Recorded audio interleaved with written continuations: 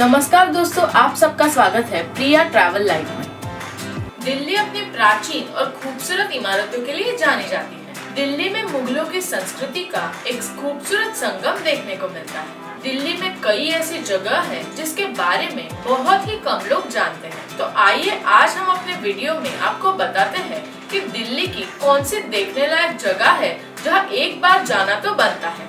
मिर्ज़ा गालिब की हवेली। मशहूर शायर मिर्ज़ा गालिब को भला कौन नहीं जानता? लेकिन क्या आपको पता है कि दिल्ली में उनकी याद में एक हवेली भी है?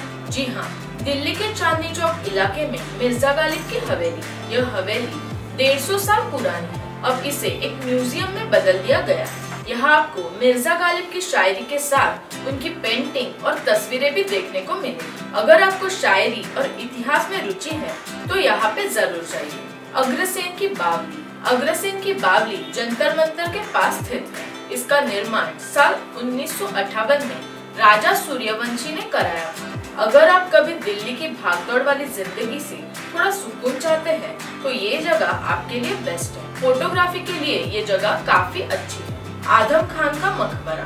आदम खान के मकबरे का निर्माण 1561 में हुआ था। इस मकबरे को मुगल शासक अकबर के दिल के करीब बताया जाता है। अगर मुगलों की संस्कृति के बारे में जानने की रुचि है तो एक बार आप इस मकबरे में ज़रूर जाइए। सतपुला ब्रिज, मालवीय नगर में स्थित सतपुला ब्रिज अब किसी गुमनामी में खो चुका है। सतपुला ब्रिज सात ब्रिजों को जोड़कर बनाया गया। सुल्तान मोहम्मद शाह तुगलक ने इस ब्रिज को अपने बचाव के लिए बनवाया था। संजय वन, यह सुनकर आपको हैरानी ज़रूर होगी कि दिल्ली में एक जंगल भी। है संजय वन, यू तो एक पार्क है, लेकिन ये इतने बड़े क्षेत्र में फैला हुआ है कि यह जंगल जैसा लगता है। यहाँ पर चारों तरफ़ हरियाली और विभिन्न पक्षियों की प्रजातियाँ भी है। वैसे कुछ लोगों ने संजय वन को भूतिया करार दिया है।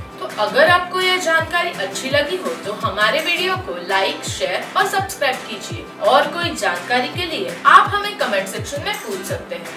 हम कोशिश करेंगे आपके सवालों के जल्द से जल्द जवाब देने तो देखते रहिए प्रिया ट्रैवल लाइफ